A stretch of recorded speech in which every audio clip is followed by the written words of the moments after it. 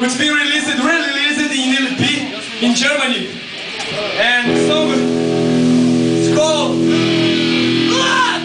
the Violation Begin!